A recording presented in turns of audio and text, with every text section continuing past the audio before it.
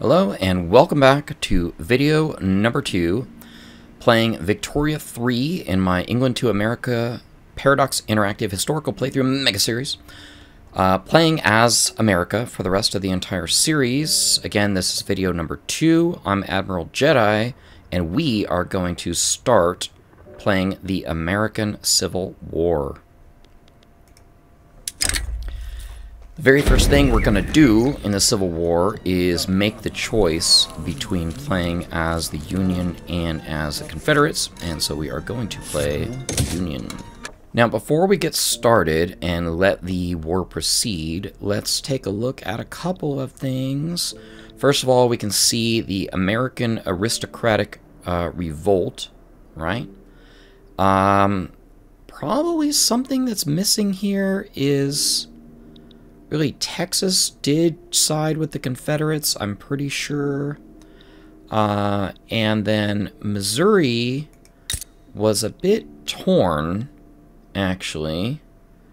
And uh, there was there was some well, you know, that's the thing is really in every place no, there was no state population of people in the states that were 100% this and 100% that. Um, and so you had some states that, um, you know, went this way or that way. Interestingly enough, Virginia, uh, most of the West in Virginia um, ended up being on the Union side, and in fact, it was their separation from their brothers uh, of Virginia, because this whole this whole thing used to be just Virginia, uh, that ended up uh, creating West Virginia as a separate state. So, uh, just read that last night. That was kind of interesting. And uh, so there you go. Anyway, so we're going to be fighting against the uh, aristocratic result, re, re revolt. Thank you. Texas will not be included in it. Uh, there was no choice I could really make on that one, so that's a little bit historically inaccurate. Uh, but we're going to proceed forward with that uh, nonetheless.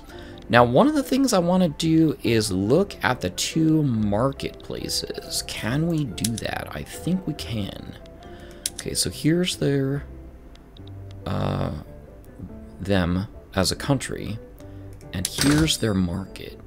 Okay, so let's take a look and see if there are large imbalances. Like, what are they short of? Is that in any way historically accurate? Because at the beginning of the Civil War, the, the North, or the Union, had going for it just a massive industrial base. In, in every way, the Union seemed to be the, the favored winners. They had higher population, they had more money, they had a higher industrial base, they had stronger railway transportations. Uh, interestingly enough, the Confederate railways primarily ran east to west, and the Union railways, at least in this area, primarily ran north to south. So that gave them an advantage of transporting troops to their front lines. And what would happen is the Confederates, primarily because they had, uh, you know, an agricultural um, economy, had a lot of struggles because their economy was built around moving livestock, for example, from east to west, and then out the ports and up and down the rivers. Uh, and pretty soon that was taken away from them. So I am somewhat interested, and we're going to check back on this a couple of times to see um, what the markets kind of look like. So let's let's do a comparison of that. So we got really high level of 75% market price uh, prices, percent market price. Interestingly enough, they had plenty of guns. That's not historically accurate. The North had way more guns and engines, so that just might have been the way that the buildings uh, came out. Let's go ahead and look at our market and uh, get that sorted again by price. Okay, so we don't have as many super high-priced items as they do. However, we have a massive dearth of weapons uh, and ships, which is not historically accurate. That was really tough for me uh, to simulate. Okay, so everything else is looking pretty good in terms of balance. And one of the things that we're going to do historically, and we'll go ahead and get this uh, going right now. In fact, let's mobilize all of our armies and let's get our navies going. Um, what we're going to do, why do we have... Oh, this is probably because, yeah, okay, we're missing commanders, no problem. Um, so what we're going to do with our big fleet here is get this mobilized to blockade. So this was known as Operation Anaconda, that they were going to strangle the South's trade by sea because the South traded a lot of cotton, not only up to the north, um, but also uh, to England and, and, to Europe. So we're also, in addition to um, trying to strangle their trade, I mean, do we even need to embargo them? Or, I mean, aren't we embargoing somebody who we're at war with? I would imagine that we, we already are, that, that being at war uh, with somebody automatically embargoes them. That's a little bit weird because with our big, um, uh, come on, fabric, it's odd that we could, in theory, start an import route right away with the uh, aristocratic resort, uh, revolt market. That seems weird. So that's what makes me think we're not embargoing them. I'm going to look around a little bit on that for a minute. I really just can't find anything on um, on uh, embargoing them, so that's kind of a bummer. Um, but anyway, I'll keep looking around. What we want to do is watch to make sure they don't have any trade routes, and if we do, raid their convoys. So that is something that we are going to pay a lot of attention to. Uh, armies are being mobilized. So we'll wait for them to get fully mobilized. Uh, apparently we have a fair amount of missing generals, which we can deal with, no problem.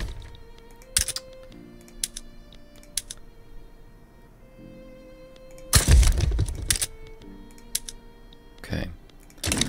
So we'll take a little bit more of a look at the economy here in a minute uh, and try to shore up some of the weaknesses in our economy. Again, this guns and ships is going to be uh, kind of a bummer.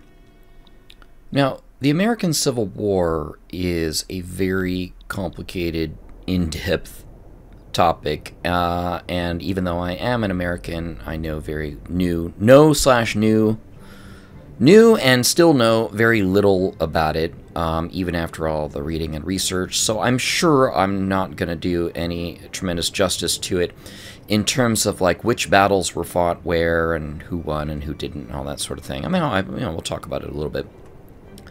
So what I'm going to do is just highlight a couple of key uh, realities, concepts, historical events. The very first battle that was fought, if you can call it that, was at Fort Sumter in South Carolina. And what happened is once the Confederates uh, seceded, not succeeded, seceded, they began picking up as much military and civilian technology and territory and everything that was owned by you know the American government as they as they possibly could by the Union government. Um, and the very first one that they tried, well, one of the first were the were military forts, and you know, federal military forts that were in Confederate states. And many of those forts fell immediately. They, there was no bullets fired, there was no territory, for many reasons. One, perhaps they were just manned by secessionists. Two, they were understaffed and didn't weren't able to put up any uh, fight or resistance to it. But one of the first forts that held out for a couple days, not very long, was Fort Sumter. Uh, and the, the the geography here, the map is, is not. It was, it was held in like a like a bay. Really, it was like a fort in the middle of the bay. And uh, the fort held out for a few days, uh, but those were the first shots that were fired uh, in the Civil War where the fort itself was surrounded. Again, the, you can't really see it here. In fact, I might be even pointing in the wrong place. But, you know, let's just fake it until we make it. Uh, they were surrounded by other forts, which then basically been pew, pew, pew, like shooting on the fort from all side, bombarding it from all side. And the United States government tried to resupply, probably by, by sea, the fort to withstand uh, the assault, but they just weren't able to, to do that. And eventually, uh, Fort Sumter surrendered, and the officers inside and, and men inside were allowed to, uh, to leave. So that's really the first battle of the uh, Civil War. Now, one of the things that I'm going to do to try to simulate history is the following. We're going to take our armies. How many do we have? All right, we got two in the Midwest, three in Dixie. That surprises me. Okay, so we've got some Dixie troops here. Okay, fine. And the vast majority in the New England headquarters. Uh, nothing in Florida. Florida should have been part of the secession effort. And then a, few in, in Great Plains. So what we're going to do is we're going to get those all mobilized to the Missouri-New York front and not the Florida front. And in fact, we're going to let that be taken. Uh, so let's go ahead and just do this. In fact, let's go ahead and just start the clock, and we'll kind of we'll kind of raise the clock on this one a little bit. Get our armies moved down here. But what we're going to do with all of them, which is a little bit weird, I admit, is we're going to put them all in defend mode. Okay? There's a reason that I'm doing this, and that is that the primary Union general, McClellan, was berated and ultimately fired by Lincoln a couple years into the Civil War because he really didn't do anything. He, he was too cautious. He was tricked a, a bunch of times uh, by generals, uh, General Lee, and um, I mean there were there were times it was a kind of a funny story where it's like when they finally came in to take a um, a fort or or an enemy a Confederate emplacement, McClellan consistently overestimated the troop size of the Confederates, thinking that they had hundreds of thousands of troops, when really they didn't, and that they had massive amounts of cannons, and really they didn't. And in fact, he showed up one time and found a bunch of logs painted to look like cannons that were the things, the, the cannons that he um, refused to give chase to. So we're going to actually let them take Florida, defend in the meantime to simulate the inaction in the uh, initial. Now, that's not to say there wasn't any action. Uh, in fact, there was plenty of, of devastating action as well. Uh, this very, very, very bloody war. Probably the. Well, I mean, I think it's the bloodiest war ever fought on American soil. But that is what we're going to. That's how we're going to start this war, is by defending for a little bit. I'm still trying to get started and clean up um, economical issues here, and I'm upset because you can see the Confederate States of America are literally buying arms from from me, uh, and this is exactly what I was worried about about happening. Uh, so if we go to their market and see their trade routes, right? Not mine. I'm not. I'm not intentionally trading with them. They are importing paper from Britain, luxury furniture from France, and munitions from me. But I cannot embargo them. so I'm not really sure uh, what to do uh, there. That's a little bit odd. Now, what I can do, and will do and should do, is um, go ahead and find this, um, you know, let's look around for their uh, trade routes. I don't really know of an efficient way to do this, where their trade routes are. Um, Okay, let, let me. Let, there's got to be a better way. We, we've had a lot of great upgrades with 1.7. I'm sure I'm doing this in a stupid way. I should be able to see what they're doing. So let's let's take a look. Okay, we're in their market, and I can see the arrows coming in. Um, does it show what's being imported? No. Or at least I'm not seeing it properly. Okay. But we can see incoming from there. I already said, okay, we can see uh, those, you know, those goods, which which goods they they are importing. Um, it does say that their let's see, trade center is North Carolina. Okay, so that's here, right? So I guess it would make sense that we would see their shipping lanes because we want to block their import. There we go, Confederate shipping lanes. Okay, here we go. Um, and now that's okay. French is that's okay. Yeah, here we go. So, so the Confederates are importing these goods on these shipping lanes. All right, so that is going to. I'm sorry you had to wait through all that. That is going to give us precisely what we need, which is we're going to take the big guy and deploy him here, and then we're going to go ahead and raid convoys. Okay, let's keep going. Well, might as well deal with this. Now, the Emancipation Proclamation. This is a really complicated topic. Um, as we talked about in the first video, really this whole war comes down to slavery. And, um, and everybody, like I said in video number one, danced around slavery for as long as, as, they, uh, as they could. I'm going to go ahead and pass it just to get it off my, um, my journal here. Sure, let's pass it twice. Um, I probably took a, a hit on that one.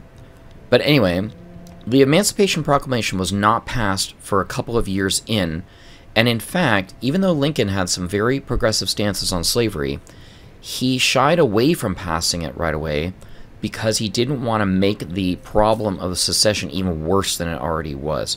His number one goal was to hold the Union together. He was an abolitionist. He wanted to get rid of slavery, but his number one goal was to hold the Union together. And in fact, he has some quotes. I doubt I can quote them perfectly, so you're just going to have to go with the spirit of it. Where he said something like, If I could, you know, uh, uh, release the slaves and hold the Union together, I would do it. If I could not release the slaves and hold the Union together, I would do it. But it's in that spirit that he was basically saying, okay, I want to hold the Union together. What ultimately ended up happening as the, the war wore on is it just became super duper obvious there was never, ever going to be a compromise. Ever. So Lincoln waited for there to be a significant victory uh, before issuing the Emancipation Proclamation. So that what we just did was historically inaccurate because we haven't had any victory yet. So let's uh, let's go ahead and just keep fighting. In fact, I think what we're gonna do is just let the clock run uh, on this. Okay, we've moved our navy here, and let's go ahead and just get the uh, the fighting started. And uh, we'll go ahead and see. See, uh, see, Lincoln was the head of the Republican Party at this point. Uh, so that's kind of a bummer. But we will go ahead and uh, beef up the Republican Party. Do we still have unacceptable government? Sure. Okay. Um, so we're going to go ahead and get the war started. There it is. Now, let's check to see if I have embargo options now. I do not. Okay. Fair enough. So we're going to go ahead and proceed with our military strategy of just doing uh, defense. There's a lot of journal entries. Let me just fast forward this, get these pushed out of the way. Okay, nothing's really going on um, at all. We just had a naval battle where our navy, you know, took out theirs, uh, which is good. And I've begun um, convoy raiding. Okay, this is just a little challenge I was going to give to myself. Uh, let me see how many convoys we're going to have, actually. Alright, well, fair enough. I was going to challenge myself to take down all their convoys uh, before staging the next sort of historically interesting thing that I'm going to do. Convoys seem to be going up. Okay, but we are taking down their convoys. Alright, fine. So here's what I'm going to do. Um, part of Operation Anaconda was the capturing of Louisiana. So let's give that a shot, actually. Um, we are going to try to do a naval landing of Louisiana. And I don't want to pull my main army off the uh, the primary front, so let's pull the next largest army uh, and see what that looks like. If we can pull that off. Um, this is not super historically relevant in terms of did this actually happen was there like a hardcore naval? Well, I mean, well, it is, but it wasn't like a key battle in the Civil War. I mean, it was a, it was a major victory and an, an, unrealized one. In the Civil War, we focused a lot. We focus a lot historically on you know the land battles, uh, and kind of tend to forget about the the sea battles. In fact, as part of that, I'm going to interrupt current um, military research and do the ironclad because it was the Civil War that saw the first uh, ironclads, and it was so weird. They were literally sailing ships that had iron plates bolted to them for extra protection. They were barely seaworthy at all, uh, which is kind of wild. All right, we kind of snuck in a little bit there with the uh, Louisiana dealy capture and then we, it's like we have Louisiana, and then whoop, that that I don't know if you saw it, that that dude like snuck back. So that was uh, a bit of a surprise. What we're gonna do now is go ahead and switch everything to pushing the front, uh, and hopefully we can just get this uh, one here. I don't know that there's a way to do this uh, in mass, but uh, we'll just go ahead and do it one by one. Okay. And let's see uh, how we're to do. So we've kind of let them get a bit, you know, higher in, in troop quantity, which is uh, kind of a bummer. Um, I did get this set up, somewhat cowardly, I admit it, uh, where um, I had more military power than they did. And so, you know, that we see there's a large outnumbering. That is accurate, actually. Uh, the Union did significantly outnumber the Confederates.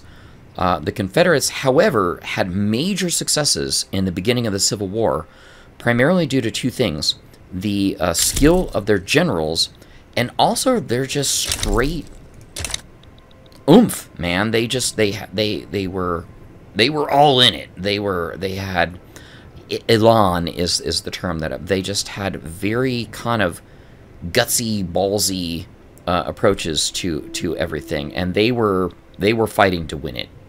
Uh, they they really were, and so the Confederates had held out against the Union against huge odds for a really long time. Okay, what we're going to see is this start, you know, so they, they took Florida, right? We need to move this guy back to uh, here and start doing our... Um, oh, we're still raiding convoys. Okay, that's fine. And let's see if we still have Yeah, there's, well, lots of Confederate shipping lanes here. So we gotta get back into uh, raiding the Confederates here. This is, you know, I thought they got rid of this, honestly. This non-stop bouncing back and forth of forces from one place to another. There's only one front, so I'm not really sure what they're doing. They've spent a lot of, the developers of Paradox have spent a lot of time trying to handle this front splitting nonsense, but uh, it's still here, unfortunately.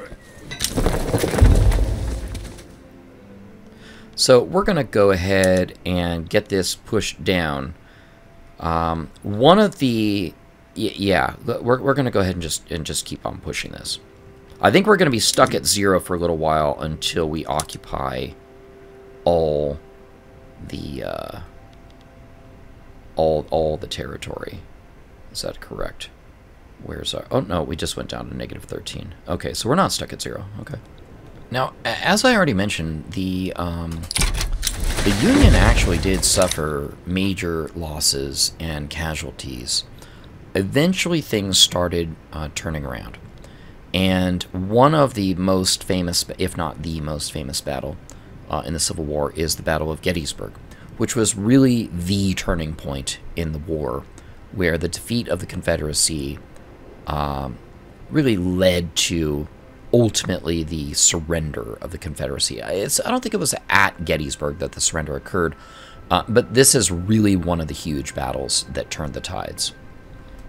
Instead, I think that the sort of final battle um, that really ended the Civil War was fought uh, at the App, App, I think it's Appomattox Courthouse in Appomattox County, Virginia. Uh, and that is the battle where General Lee uh, officially surrendered to the Union forces and led to the conclusion of the Civil War. We're getting close. Um, I think we just have to wait for a full 100, you know, negative 100 countdown here. And uh, that should be coming up shortly. I'll, I'll go ahead and just turn um, recording back on. Uh, as we get closer to it, you can see we're down to negative 81. This is a, a big part of American history. I, I, don't think I did it any sort of justice. I'm not really sure I could have. Um, but here you go. This is exactly what happened. That ultimately the Confederates were defeated in 1865. So we're four years too soon. And uh, game-wise, the Confederate States of America were annexed, re-annexed, and uh, and brought back into the Union.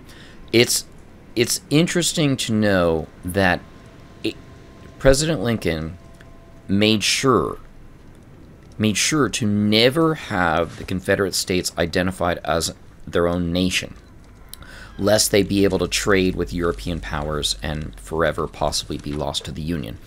He constantly referred to them simply as rebels. Uh, and so here we go. So the American Civil War is now brought to a conclusion, and the period of Reconstruction now begins. With Reconstruction underway, there's a couple of new journal entries that we have that we're going to look at. We'll go ahead and do this Wild Wild West. Um, talk about that a little bit later. We're going to readmit the secession secessionist states.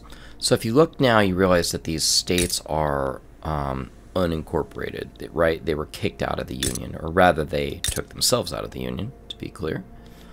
And so we want to reincorporate them. However, there were a couple of major questions that occurred during Reconstruction.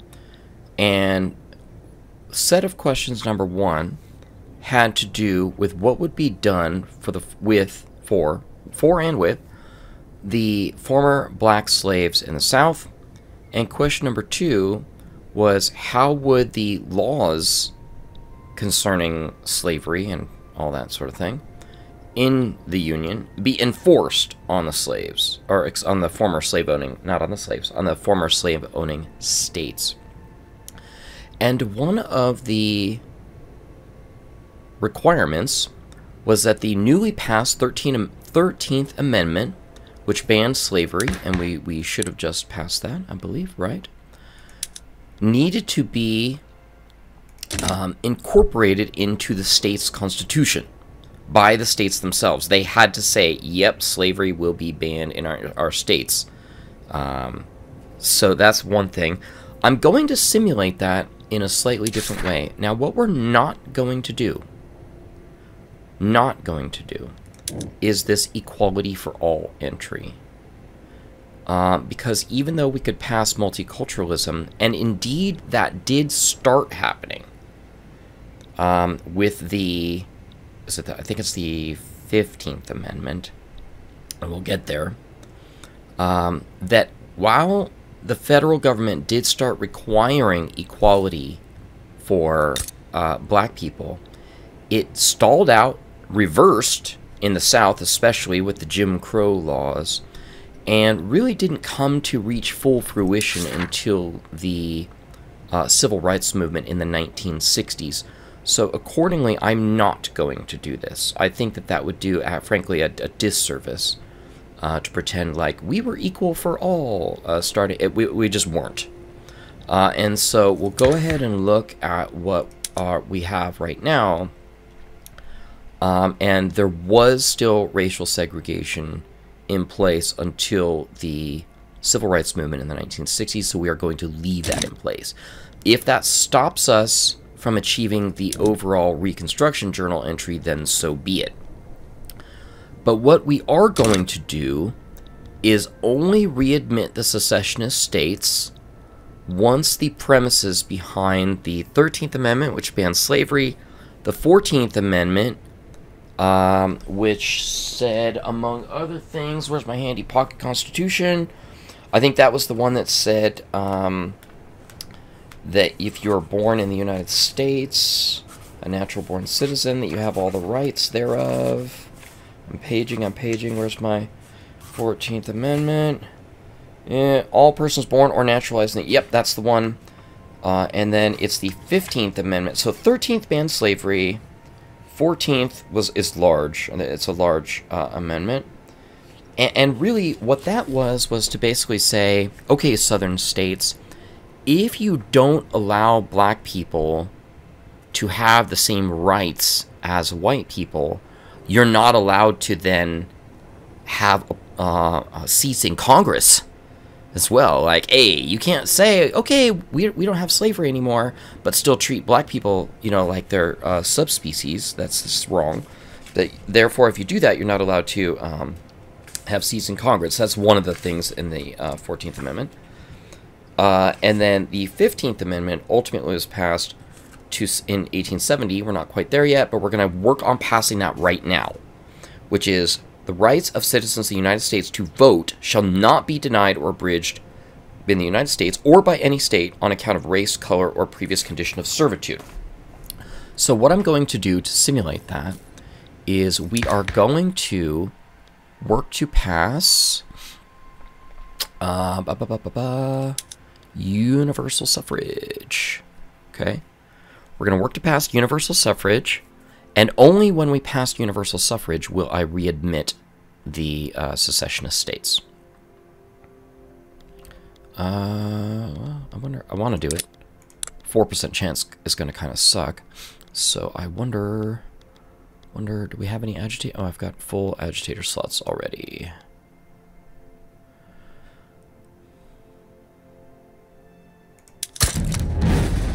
Enact monarchy, don't want you. There we go, universal suffrage. Okay, so let's go ahead. Do we not have a movement to pass universal suffrage? We do. Let's pass it. Okay, we're going to get started with this, and then when this passes, uh, we're going to start readmitting states. December 1863, and we are getting close, and in fact, so close. We got there. We passed universal suffrage. Uh, this would simulate the 15th Amendment of the Constitution, which didn't get ratified until 1870, actually, so not historically accurate, at least at this time period. And so what we're going to do is begin readmitting each one of the states. Unfortunately, there's no easy way that I know of to do this. Um, and it's really easy to forget about Washington, D.C. Where are you? There we go. That one, that one bit me for a while, where it's like almost all of them are readmitted, and they weren't. So anyway, so we're going to go ahead and just keep readmitting states, uh, and this will constitute our reconstitution of the United States of America following the Civil War. We're getting done with this video. Uh, we're going to go through some industry stuff next and then close it out. We're going to let the clock one run quite a bit, actually, to get us caught up to um, our next event in time. Uh, with the clock ticking down on Reconstruction, uh, I think we're pretty much going to fail. Been trying to readmit the secessionist states. As you can see, all of them are incorporated at this point. But this whole Dixie loyalty dealy um, was really hard to do. Now, it's possible that that could be considered historically accurate, because for a long time, the southern states essentially had military governments imposed upon them. And um, the more money that went into the southern states, the more effort, eventually, uh, it just kind of. Uh, I don't even know how to say it. People just kind of gave up, frankly. So uh, that whole event just sort of sputtered to a non issue. We're pretty much going to close this out because, uh, again, the Civil War and Reconstruction have taken a lot of our uh, effort. So the next thing that we're going to focus on for the remainder of this video is really the industrialization of the United States.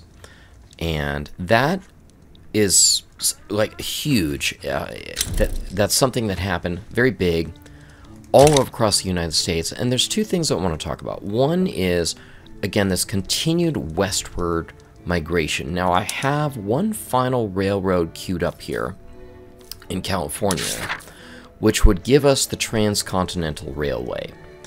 And I think that was done around this time. Um, and, and so, again, the, the first set of railways which could go from east to west. As people continued pouring into the United States, which they're doing, I mean, I've had the time unpaused, and even in just this segment, there's been two migrations. Unfortunately, we lost Alaska, which kind of sucks uh, because eh, it's just kind of a lame event, actually.